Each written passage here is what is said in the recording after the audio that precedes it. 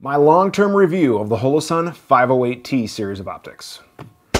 I don't like having to admit when I have to eat crow, and I think I have to probably eat a little bit of crow. When I first got my 508, which was this one right here, and I threw it on uh, my Glock 45, and this was my primary demo gun for a long time with this optic. I, I was skeptical, so I'm just going to get it right out of the bat, right out of the right away. I did not want to like these optics. So reason why is number one, I thought it was a copy of the RMR, which we will compare it to. And I thought it's an imported optic. It can't be as good. It can't have as many features. I mean, it's cheaper for a reason, right? Well, we're going to get into some of the details. My name is Dave Tim from Guns and Tactics. Thank you guys very much for spending a few minutes of your day checking out this video. I apologize it's taken me so long to make this video. I did a first look video a long time ago. But truth be told, I have been beating the snot out of this one as well as this one and a couple others that I have on other guns that I use for demos, that I use as uh, loaner guns or whatever. I even have one on my duty gun. And I have to say, these uh, have really, really impressed me. So let's get right to it. Uh, first things first, disclosure, I'm not getting paid by Holosun. Uh, they're not sponsoring this or anything like that. I did receive one media sample, which is this guy right here. I have literally beaten the snot out of this one. And on this gun, with this optic, I probably have no lie, 8,000 rounds of 9 millimeter um, through this from teaching, attending classes, whatever it might be, and the thing is just held up. Uh, it's it's been awesome. A little bit about my background with red dots in general. I started shooting a red dot on duty about that 2015, 2016 mark. I started training with it because I would start to see more and more students come to my classes with red dots, and I wanted to kind of hop on that train. A couple of years ago, I was brought on by a national company to go around the country teaching red dot instructor courses to law enforcement agencies, whether it's contract agencies or open enrollment classes around the country. So I've been doing that for a year and a half, give or take. And it's taken me to all different areas of the country to meet all different regions of cops to see different standards, different training doctrine, different performance levels. And that's given me another idea of sample sizes, not just of what I have, but now as a larger group to see what holds up and what doesn't, what optics fail, what doesn't. And what I'm seeing is more and more Holosuns are showing up at classes. When I was first starting, it was pretty much all Trijicon RMRs. Now we're starting to see more and more Holosuns, and they are just performing really, really well. I, I generally just don't see them fail. I can't think of a time that I have seen a 508 fail that was not a user issue, i.e. bad screws or whatever, which we'll talk about here in a little bit. So my experience and my students' experience with the 508 have been very, very favorable. What the purpose of this review is, yes, we'll talk about some specs, but I really want to get into why somebody would choose this versus an RMR. And for those of you guys wondering, uh, I've had a lot of experiences with RMRs. This was actually one of my first red dot handguns that I started, you know, using back in 2015, 2016. Uh, this is a Glock 34, and it has just, you know, it's been a beast. Uh, this optic was secondary. I had a Type 1 RMR on it that actually ended up taking a, a dirt nap. So I had to put a Type 2 on there. But this is what really got me into the red dot game so like I said, when Holosun came out with this 508 and everybody was raging about it, I was just like, I don't know. I just don't think it's going to be better. And I, I do think it's a better optic. So I'm going to put chapter markers in the description below if you want to skip along to a certain part. Let's get pricing and specs out of the way, and then I want to get into why somebody would pick this and what I like about it better than the Trijicon RMR. So first things first for pricing, they are available right now Several distributors have them. We'll have a couple of links in the description where you can check them out. If you do use those links, it does help out the channel. If you don't use those links, that's fine too. But let's talk about pricing. Right now, they are available. One of my favorite dealers from Rainier Arms, the red is available for $370 street price. The green is $400 street price.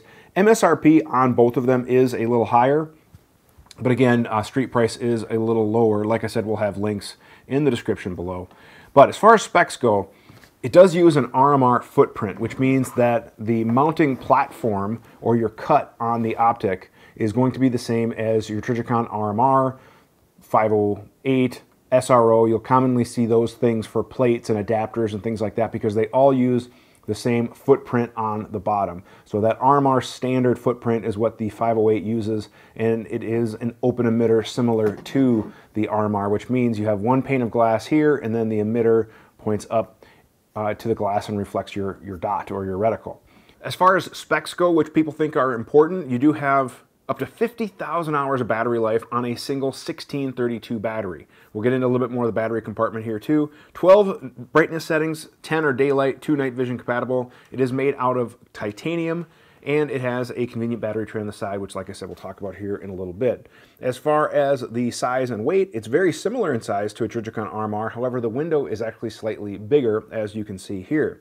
The dimensions are 1.78 inches by 1.15 by 1.15, and the weight is 2 ounces. The operating temperatures and storage temperatures, which are something that are important to me being in Minnesota, are working temp negative 30 degrees Celsius all the way up to 60 degrees Celsius, IP67 rating for waterproof. The adjustments are easy.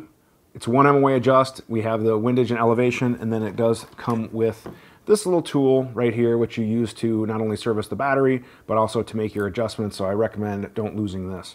For the full specs, you can check out Holosun's webpage. Okay, enough of the mumbo jumbo. Let's get to why you would pick this over an RMR.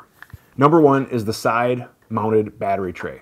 That right in and of itself is a huge logistical upgrade for law enforcement armorers. With the RMR, you have to take the optic completely off put new battery on, and then deal with retorquing, thread locker, confirming zero, all that stuff, which is not generally something most departments will let the end user or the officer do. That's an armorer or instructor or range master function. So that's a huge con to the RMR. With the Holosun, we use the included tool. We pop out the battery tray, 1632 goes out, 1632 goes in. Speaking of battery, it also does have a solar panel for brightness uh, detection as well as a battery backup. So even if the battery goes dead, I can be out in the sun and I do have a solar panel battery backup, if you will, which works out actually pretty awesome. Uh, I generally change my batteries once a year. I don't know if I've truly drained a battery, but having that is just a nice little touch. Now, I will say using this as the auto adjust is the one thing I don't like is that it uses what ambient light is here to determine how bright the dot should be, even though I'm looking down there. And with you know bright lights like the Modlite, uh, the new Surefire Turbo coming out, the Cloud Pistol Light, which who knows if that's you know, when it's going to come out, but uh, I definitely want that forward sensor like what is in the SCS, which don't tell. I'm not supposed to be talking about this very much just yet, but the SCS has the best auto adjust out of any pistol red dot I've, I've seen to date. So I really, really am liking this. But uh, for those of you guys running this in a duty capacity or whatever, you're just going to turn it on, leave it on. That's what I recommend. That's what I teach in my classes. So I do like that it does have the solar battery backup. The other cool thing I like about the battery is it does have a low battery indicator. So when you power it up and it starts blinking, that's a clue. Hey, battery's going to go pretty soon. I need to put a new battery in. Now the only thing with the battery is the 1632 is not as common as the 2032. You still can find them at like Batteries Plus. Uh, I think I even found them at a Walmart once. But otherwise, I just go to Amazon and I buy some good quality 1632s, Duracells if you can find them, Panasonics aren't as bad. Uh, sometimes I've had to get, I can't remember if it was Energizer or an off-brand, but uh, you know, try to stock up. I keep some 1632s in my range bag, but I just change them out once a year. So really no issues or complaints with battery life. And I just like the features that they put into this with the battery, the solar, everything like we've just talked about. Number two, different reticle choices. You can choose between a dot, the dot and halo, or the halo alone. Now the halo alone, I actually kind of want to play around with with a shotgun and kind of see if I can keep like what distance my buckshot pattern would keep within that halo. I think that may be kind of a cool use for that. Uh, however, the dot and halo is really cool under night vision. It's very distinct. You know that when you're looking through, you know, passive aiming without a laser or anything like that, that that is your reticle because with the dot and somebody else's IR laser, the two look very similar. So are you looking at his IR laser? Are you looking at your dot? But once you have that halo reticle, it's very distinct when you are looking through night vision and your pistol optic that that is exactly what you are looking at. So I love that. Number two is I've had several people with colorblind issues coming through my classes, and they have found with that halo reticle they immediately can pick up on it. It offers a contrast, it offers a distinct shape so that they, again, are getting all the benefits of the red dot, but now they're getting that distinct outline so that they have that aiming capability that they struggle with with some colors and some uh, dots. You know, those with astigmatisms might see bursts and stuff, but again, that halo just gives people different options. Now, generally speaking, I prefer dot only. I run it dot only unless I'm doing night vision, but I like to demo the halo for people who might have a preference for it. it. Comes in green or red, depending on your preference. I have both, and I go back and forth. Green is a little bit more battery efficient, I am told. However, there's just something about red where I feel like the red on the brightest just looks a little bit brighter to my eye than the brightest on the green, but the green looks maybe a little bit more crisp to me. And that could just be my eyes. I do have a, a slight astigmatism uh, that I'm starting to get as I'm getting older. So again, that's just my opinion, my view, but I like them both.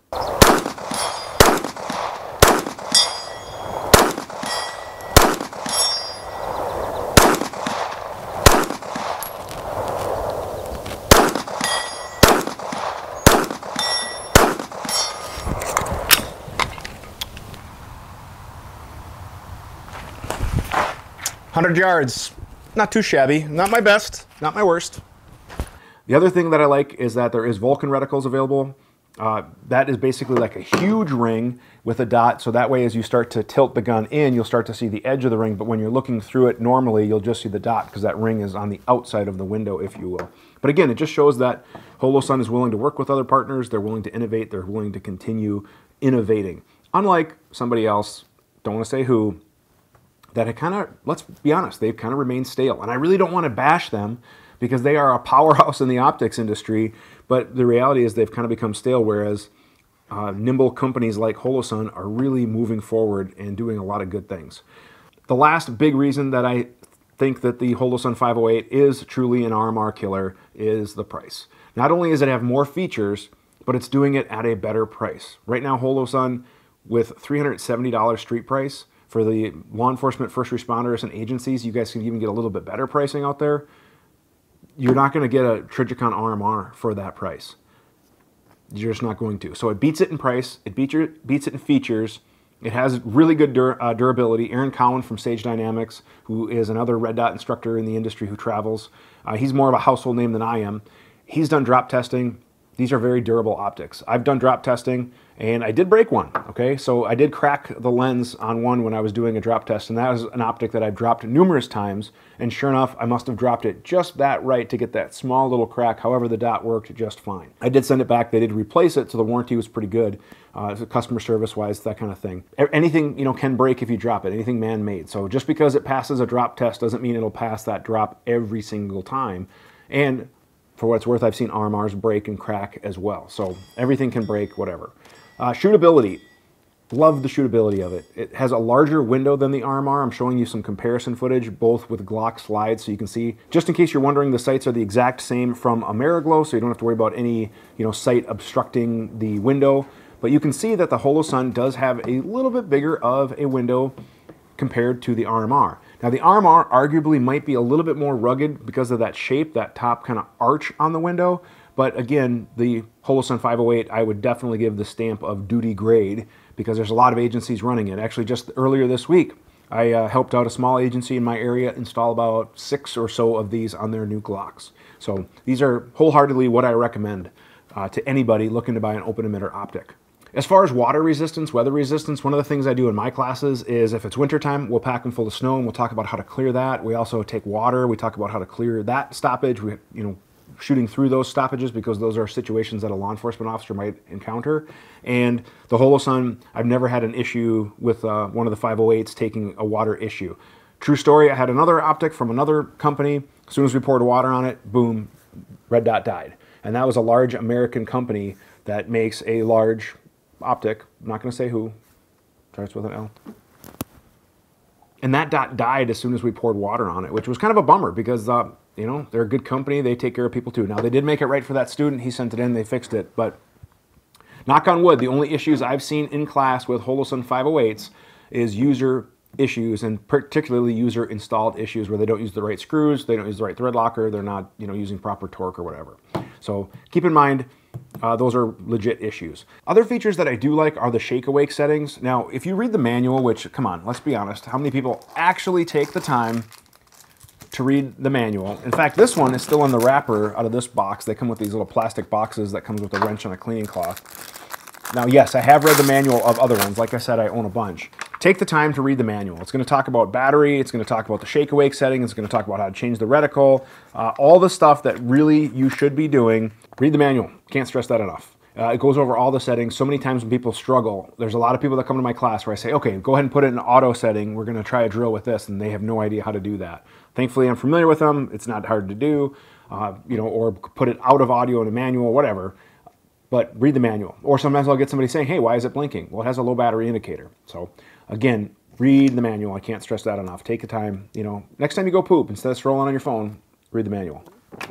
I've carried this on duty. I recommend people to carry it on duty. I recommend people to carry it off duty. I don't care if you duty grade or not, but the reality is it's just a really, really good optic, whether it's competition rig, an everyday carry rig, a duty rig, something to keep your family safe or whatever. I just am very, very happy with these optics, and that's why I own so many of them. I bought many on my own.